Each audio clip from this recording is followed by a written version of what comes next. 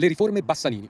Si chiamano così le riforme che sono intervenute fra il 1997 e il 2001, il periodo in cui il professor Bassanini era ministro del governo Prodi 1, e partirono con la legge 59 del 1997, legge delega che delegava il governo ad adottare una serie di provvedimenti volti da un lato alla semplificazione amministrativa, dall'altro al federalismo amministrativo, l'introduzione del principio di sussidiarietà, la riorganizzazione delle fonti del diritto attraverso la previsione anche di testi unici, la riforma del governo e la riforma del rapporto fra Stato, Regioni e Autonomie con la creazione delle conferenze. Alla riforma originaria, legge 59-97, seguirono una serie di provvedimenti noti come Bassanini bis, legge 127 del 1997, Bassanini ter nel 1998, Bassanini quater 50 del 1999. Fra le più note riforme, frutto di questa generazione, abbiamo il DPR 445 del 2000, il regolamento sulla semplificazione amministrativa e documentale. Come detto, la semplificazione è uno degli elementi di forza delle cosiddette riforme Bassanini. Fu riformata la legge 241, la conferenza dei servizi, la autocertificazione, le dichiarazioni sostitutive di certificazione di atto di autorità. Inoltre furono trasferite alle regioni e agli enti locali una serie di competenze attraverso il decreto legislativo 112 del 1998. Nacque lo sportello unico per le attività produttive. Quindi una serie di interventi che produssero effetti già nei primi anni del 2000 ed arrivarono anche in Costituzione con la riforma costituzionale, la cosiddetta riforma della seconda parte del titolo quinto della Costituzione.